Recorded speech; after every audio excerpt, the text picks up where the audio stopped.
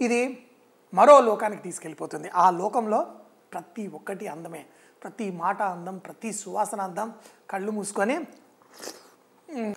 నాకు పెద్ద మూఢనమ్మకాల మీద దేని మీద నమ్మకం లేకపోయినా ఈ సాంబార్ మాత్రం స్పూన్తో తింటే పాపం వస్తుంది. అదొక్కటి మాత్రం ఒప్పుకుంటాను. అందరి సంతోషాన్ని కోరే సంస్కృతి మన తెలుగువారిది ఈరోజు మీకు అందరికీ చాలా ఇష్టమయ్యే సాంబార్. అయితే సాంబార్ చాలామంది నేను చేసే ఫ్రెష్ ఇన్స్టంట్ మసాలా ఏదైతే ఉందో ఇది చాలామందికి రాదు. కానీ ఈ సాంబార్ మసాలా మీరు చేసుకుంటే కనుక అద్భుతం అమోఘం. అవును ఫ్రెష్గా వంటలు చేసుకొని తినాలని మనం ఎప్పుడు చెబుతుంటాం. కానీ ఆ మసాలా కూడా మీరు ఫ్రెష్గా చేసుకుంటే ఆ తినడంలో ఉన్న మజానే వేరు. ఈరోజు నేను మీకు చూపిస్తున్న ఈ మసాలా ఏదైతే ఉందో ఇది చాలా చాలా టేస్టీగా ఉంటుంది. దీన్ని తయారు చేయడం కోసం కొంచెం నూనె వేసుకొని ఈ మసాలా రోస్ట్ చేసుకుంటాను. డ్రై రోస్ట్ కూడా చేసుకోవచ్చు. కావాలంటే ఇలా కొంచెం నూనె వేసి కూడా చేసుకోవచ్చు.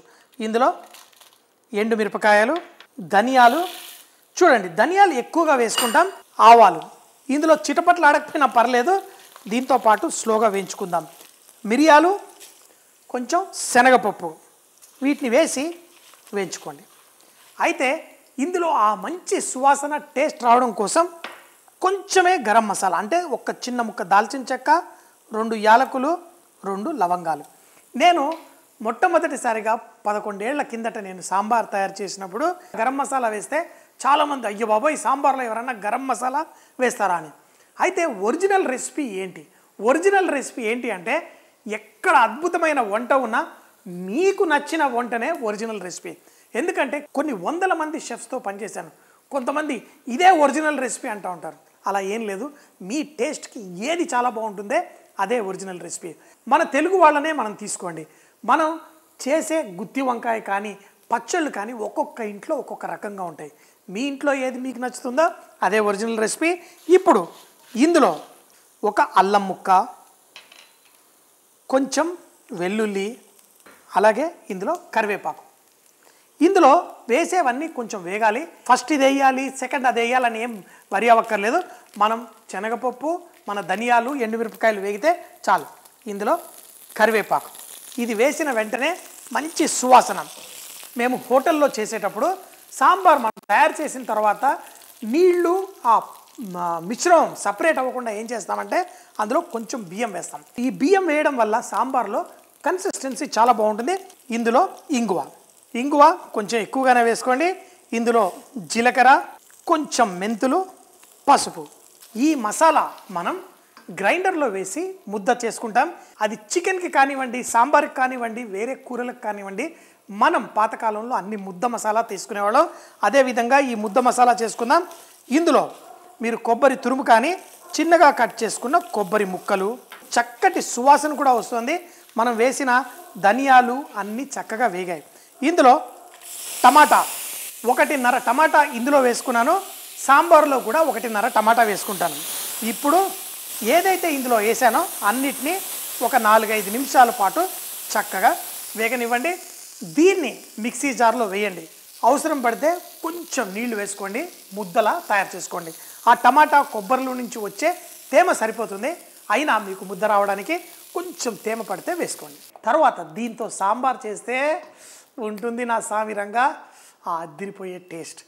ఇందులో మనకు నచ్చిన కూరగాయలన్నీ వేసి ఆ అన్నంలో కలుపుకొని తింటుంటే ఆహా. ఈ మసాలా ముద్ద ఏదైతే ఉందో దీంట్లో ఉంది అసలైన సిసలైన ఆ సువాసన. మనం ధనియాల పొళ్ళు అన్నీ వేస్తాం కదా ఏది అక్కర్లేదు ఈ ఒక్క మసాలా వేసుకుంటే మన సాంబార్ రెడీ అవుతుంది. అది కూడా అద్దిరి టేస్ట్. నూనె వేసుకుందాం. నువ్వుల నూనె వేసుకుంటారా?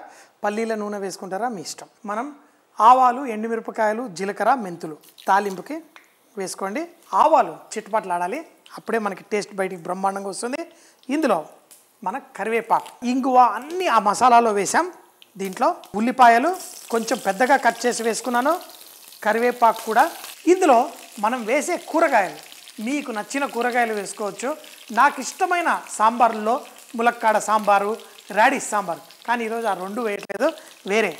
అంటే బెండకాయ అవన్నీ వేసుకుంటే కూడా చాలా బాగుంటుంది. కానీ ఈరోజు నేను సొరకాయ వంకాయ క్యారెట్ బీన్స్ అన్ని రకాల కూరగాయలు ఇందులో వేసుకుంటాను. ముందు సొరకాయ క్యారెట్. కొంతమందికి తీపి ఎక్కువ ఉంటుందని తక్కువ వేసుకుంటారు. కానీ మీకు ఎన్ని కావాలో అంత వేసుకోండి. బీన్స్ వంకాయలు. ఉప్పు వేసుకుందాం. మిగిలిన కూరగాయలు కాలీఫ్లవరు క్యాప్సికము పచ్చి బఠానీ కూడా వేస్తాను. కానీ అది కొంచెం సేపు అయిన తర్వాత వేస్తాను. ఎందుకో చెప్తాను. ఇప్పుడు ఈ కూరగాయల్ని లైట్గా ఈ నూనెలో ఇలా కుక్ చేసుకోండి. ఒక నిమిషం పాటు ఇవి వేగిన తర్వాత ఇందులో మన చింతపండు పులుసు. అలాగే దీంట్లో కొన్ని నీళ్ళు పోసి మనం దీన్ని నాలుగు నిమిషాలు ఉడికిన తర్వాత మనం ముందుగా తయారు చేసి పెట్టుకున్న మసాలా కూడా వేసుకుందాం. కొంచెం ఈ వెజిటేబుల్స్ ఉడికిన తర్వాత దీంట్లో టమాటాలు నాకు సాంబార్లో టమాటాలు చాలా ఇష్టం. అలాగే మనం చేసుకున్న ఈ మసాలా మిశ్రమం. నేను చేసే సాంబార్ కి ఈ మాత్రం మసాలా సరిపోతుంది. దీన్ని ఈ కూరగాయలతో పాటు చక్కగా కుక్ చేసుకుందాం. అలాగే దీంట్లో మరిన్ని నీళ్ళు కూడా పడుతుంది.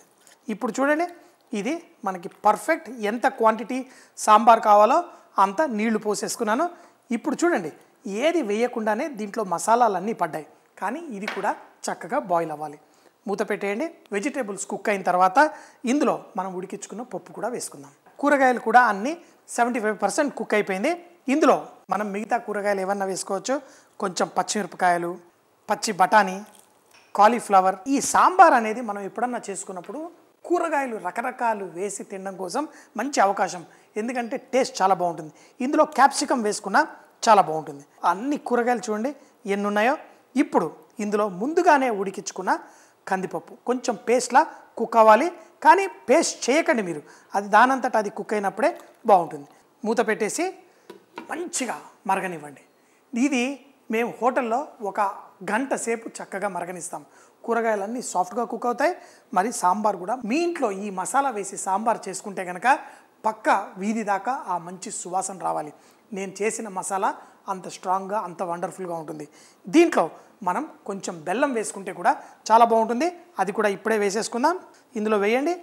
తర్వాత అంతా ఉడికిన తర్వాత లాస్ట్లో మరొక్కసారి మనం ఉప్పు అడ్జస్ట్ చేసుకుందాం. పలసగా ఉండకూడదు మరీ చిక్కగా ఉండకూడదు. మనకి సాంబార్ పర్ఫెక్ట్గా ఉండాలి. ఈ సాంబార్ హోటల్లో మనం అన్నంతో పాటు తినొచ్చు. మనం బ్రేక్ఫాస్ట్ లంచ్ అన్నిటితో పాటు కూడా ఇవ్వచ్చు.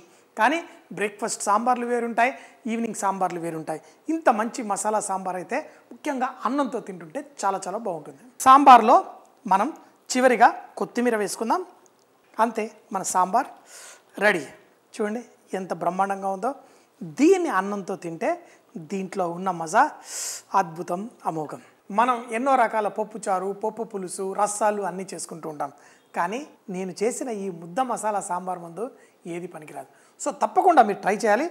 ఇది ఒకసారి నేను తెలియక స్పూన్తో తింటే ఒకళ్ళు పాపం వస్తుంది అని చెప్పారు. నాకు పెద్ద మూఢనమ్మకాల మీద దేని మీద నమ్మకం లేకపోయినా ఈ సాంబార్ మాత్రం స్పూన్తో తింటే పాపం వస్తుంది. అదొక్కటి మాత్రం ఒప్పుకుంటాను. పిల్లలేంటి? కొంచెం పెద్దవాళ్ళు కూడా నేను ఈ కూరగాయ తిన్ను ఆ కూరగాయ తిన్ను అంటుంటారు. అలాంటి ప్రాబ్లం మన పిల్లలకి రాకూడదు. అంటే ఒకటే ఒకటి. సాంబార్ని చిన్నప్పటి నుంచి అలవాటు చేయండి. అన్ని రకాల కూరగాయలు వేసి మీరు సాంబార్ చేసుకోవచ్చు. అద్భుతంగా ఉంటుంది. ఆకుకూరలు వేసిన సాంబార్లు కూడా సూపర్గా ఉంటాయి. సో మరి ఇందులో ఇలా కలుపుకొని మామూలు కూరలు తింటుంటేనే చెవులు మూసుకుంటున్నారు కొంతమంది.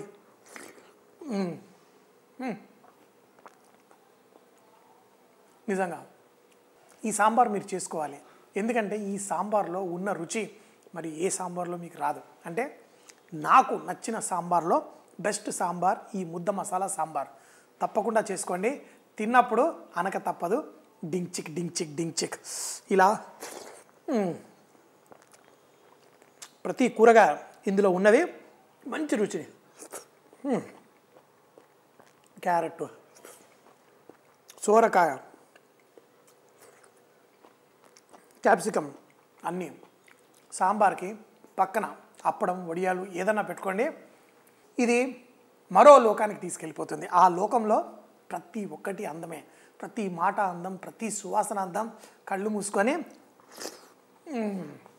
ఫ్రెండ్స్ చాలా సంతోషంగా ఉంది. ఎందుకంటే ఈ రుచికరమైన వంటలు మనం చేసుకోవడం ఒక వంతు. తెలుగు మాట్లాడుతూ ఇవన్నీ తింటూ ఉంటే దీని రుచి పదింతలు ఎక్కువైపోయింది. చేసుకోండి తినండి చక్కగా ఎంజాయ్ చేయండి.